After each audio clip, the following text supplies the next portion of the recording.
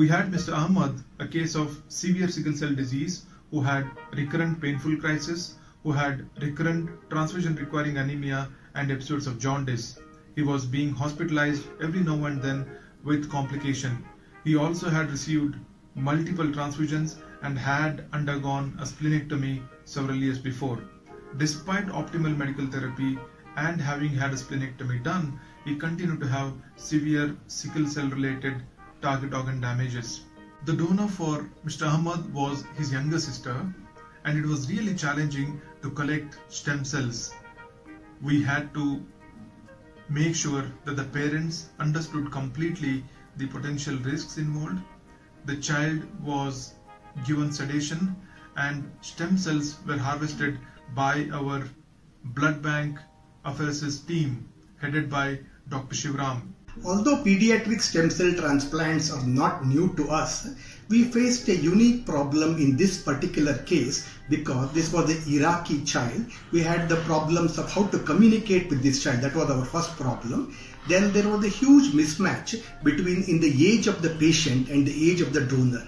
While our patient was 18 uh, years of age and weighed 60 kg, our donor was a small child, 3 years of age, who weighed only 18 kg. The child donor um, with a weight of 18 kg had a total blood volume of only about 1.3 liters from whom we had to process 8 to 10 liters of blood. This would be impossible in a, but in a single sitting. We therefore decided to do it in multiple sittings and cryopreserve the stem cells collected.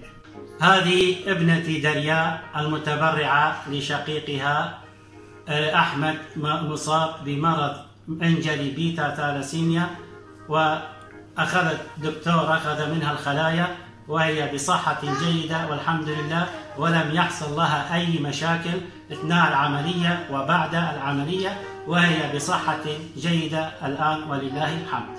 أسنا خوش من بنخشيا تلاسيميا بشتما سردانا غلط هندستاني كلي نخشخانا أماني باك الحمد لله من نشتگیری خو کرد و سلامتی در باز بوم تدا خدمت اگه باش بوم کرنو تندرستی من گنو که گلد یا باشا برای باش تری چی تنجی متبرع عامل جی کود تخش من دریا تندرستی جی باشا ما چه مشکله نینو inshallah برای باش تری چی الحمد لله Sickle cell disease is an inherited blood disorder characterized by repeated painful vaso-occlusive recurrent anemias, recurrent episodes of jaundice, and in some children, severe infections requiring hospitalization.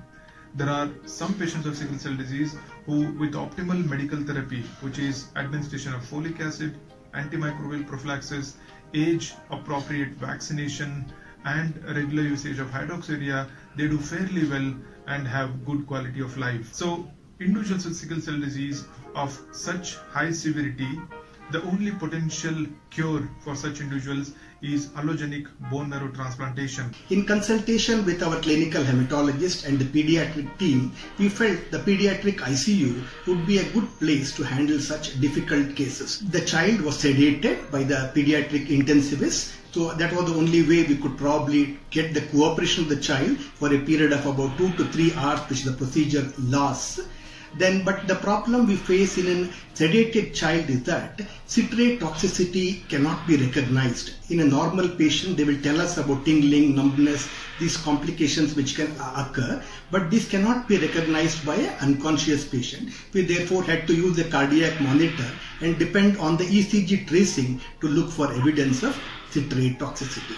Then another problem we encountered was the volume of blood that would go into the apheresis machine from this child would be too large for the child to tolerate. We therefore first connected an RBC bag of the same group to the machine to fill the dead spaces and then connected the patient for apheresis procedures. وأم جلس فاسيا دكتوري كيما لكاتون سسترا جروبي ستافي في أمي دكتورة جلا قدر ما جدا أسفاسيوات كامي ودار هل تنشو صاص